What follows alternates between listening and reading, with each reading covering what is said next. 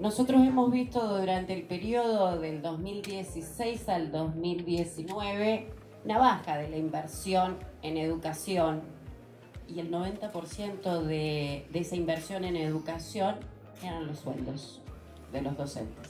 Fíjense el aumento real en las obras de inversión. Tenemos objetivos muy claros que tienen que ver con mejorar la infraestructura en general de la provincia de Buenos Aires, ese es el eje fundamental, así que creemos que en este presupuesto se vuelcan esas prioridades, esos objetivos que nos dictó nuestro gobernador.